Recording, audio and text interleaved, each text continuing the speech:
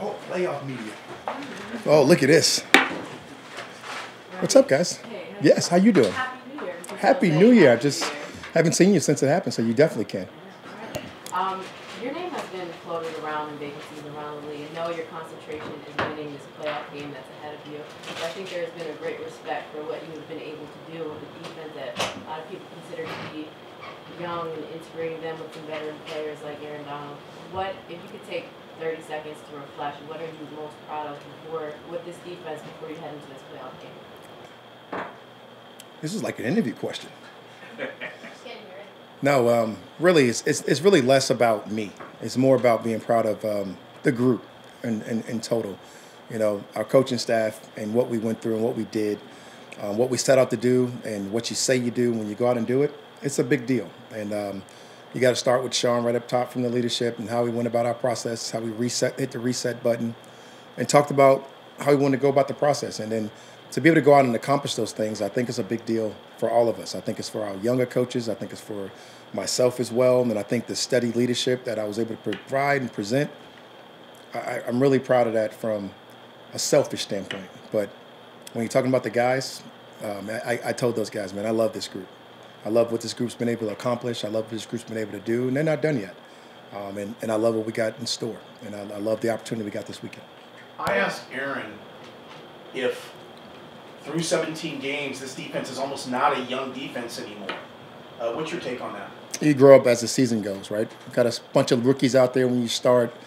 They all hit that rookie wall. They get to that point. They find a way to fight through it. We've seen BY fight through it, find out what real injury is in the NFL, find out how to play through it.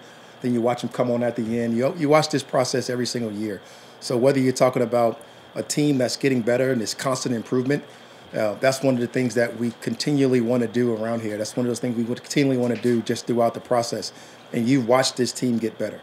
You've watched this team have setbacks. And the things that make us great is when you have those setbacks and you're able to continue on and find ways to keep winning. And I think that's what's been a lot of fun for these guys, a lot of fun for Aaron. And his team is still young, but they've uh, seasoned a little bit, and it's, and it's feeling good for those guys, and they're getting a little bit more comfortable. With that, Obviously, uh, Doesn't matter. Go ahead, guys. I'll be here for a while. With that, with that, with that youth, how do you prepare some of the younger guys for not only ex- an explosive and balanced offense, but going into a cold and hostile environment? That is awesome. You know, uh, that's what we like. We talked about being a villain this week. You know, young Aubrey Pleasant. You know, he can he can tell you about it. He thought of talked about who's your favorite villain and taking on that form when you go into it. You know, mine was Scarface. Couple guys picked Batman, the Joker. I mean, excuse me, the Joker, and some of those type of guys. But it is a cool thing, man. The playoffs and going into hostile environments, and you really love that, right? No, no better feeling in sports than to go in there and being, you know, the Darth Vader to somebody's Star Wars. You know, it is it is a real cool feeling. Who started that generation? Was that you? Was that someone else? It kind of was established throughout the process of the week. You know, when you talk about the games and how you want to play and what the temperament is going to be like, and then it spurred a moment. It spurred a moment for Aubrey Pleasant. He said he went around the room and said, "Man, who's your favorite villain?" And uh, we're gonna take that villain mentality and go to Detroit. Who's your favorite villain? I told you, mine was Scarface. So you could really see the generational divide. Here's the Scarface. And, No know, question. You know, some people want that Heath Ledger Batman, a new guy that played Batman. I didn't get a chance to watch yet. Excited about that. so Jared Goff accomplished a lot of great things when He he, did. was in Los Angeles. But both uh, Aaron Donald and Sean McVay both said he's grown, he's gotten better. When you study him as a guy when he has time, how has he grown? You know, um, it'd be hard for me to compare what he was when he was here because I wasn't. Just going against him maybe one time, and I think I was coaching offense. But I watched him. I watched you guys have a bunch of success from afar. You know, me and Sean just become friends in 21, right? So I was always been a big Jared Goff fan, just watching him play, doing watching him mature, throwing the keepers, being to go through the process in the play action game. But watching him right now, he's leading a franchise, and he's brought a franchise back that really was on the downslope. And you got to give him and Dan Campbell and that leadership group, that ownership group, a lot of credit for what they've been able to do over the last couple of years. And you know, he's given us great sound bites. You know, I'm watching my kneecaps. Um, they've done a lot of really good things, and they, they, they spew toughness. And it's really what really most good coaches are about. And Jared has been able to display that since he's been there. The mental toughness, the ability to bring people up, and you've seen the emotion come out of him at the end of a couple of those games. So I really just watched him mature and develop in his game, going from a rookie season, being a very high pick, um, taking one franchise to a Super Bowl and then going to another one and really lifting them up and making them to a different level. And it's pretty cool for him and his family. Is it fair to say one of the keys to this game is getting pressure on him? Uh, that is fair to say, and that would be fair to say almost every single week, but uh, particularly this week. If you can get pressure on him and really bother him and frustrate him a little bit, um, that gives us a better chance for success. A two-part question, if you don't mind. Sure. Um, the report out there is that uh, Falcons, Chargers, Commanders, and Panthers have all requested you for head coaching interviews. Yes. Can you confirm that, first of all? Those are the ones that I've heard from Tony, you know, and um, those are the ones that I know about.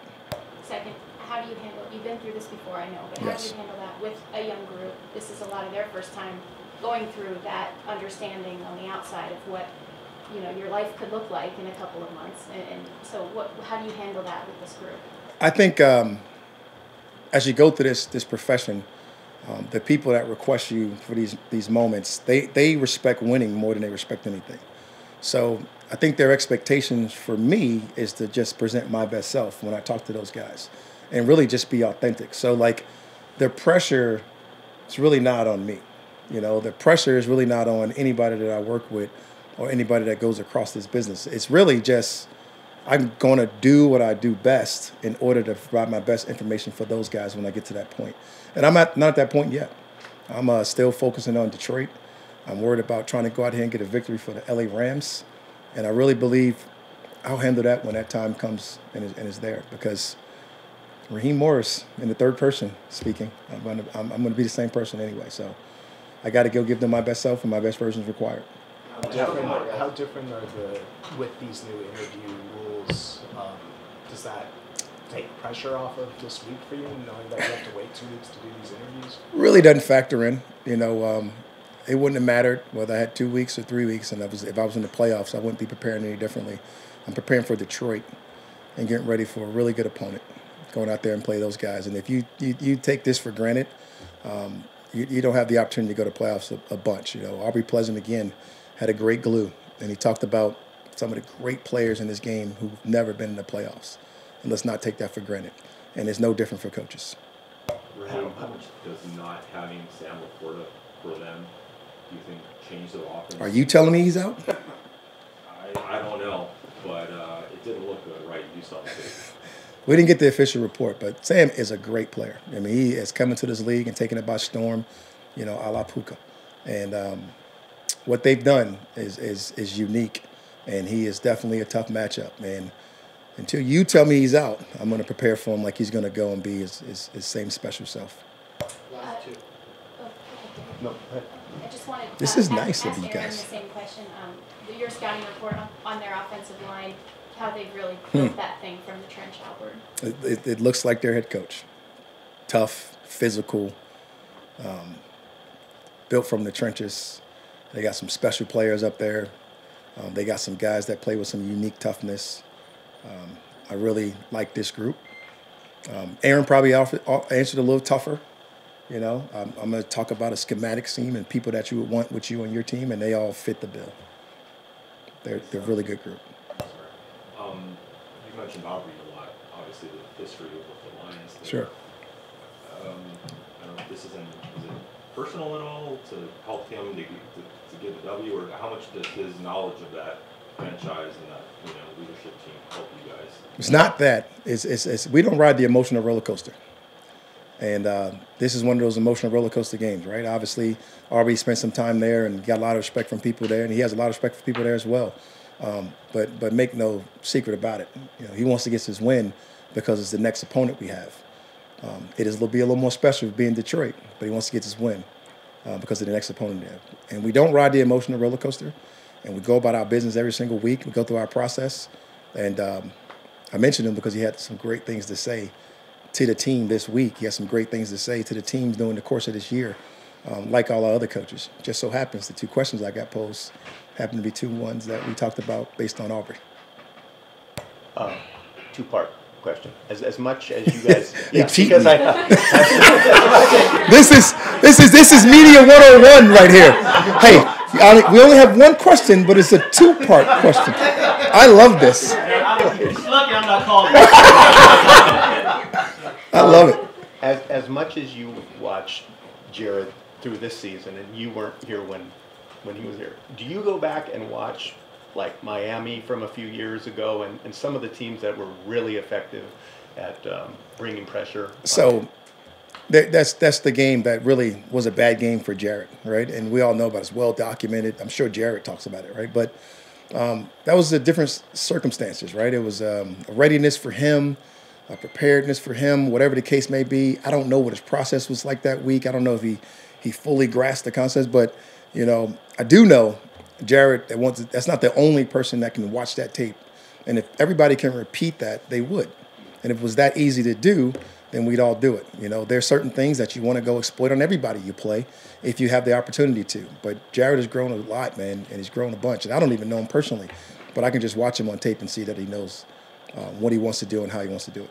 And finally, in terms of It's the second part of his question. guys. Yes. In terms of handling, you've been through this coaching stuff a few times. So Yes. has your process changed? Are you are you handling it different now than you did maybe the first few times you were going through it in terms of being able to put it aside and not, you know, worry about it or be concerned about it? I was really thinking about this question, Gary, because one time I got it and I was not in the playoffs. Um, probably the first time I got it, being uh, the Denver interview and when I got the job, 2009, right? So that would be a whole different deal. To say I wasn't thinking about it when I got the offer then would not be telling the truth.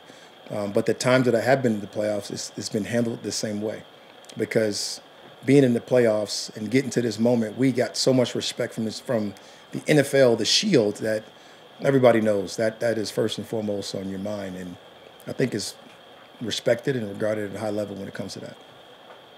Thanks, Randy. Okay, guys.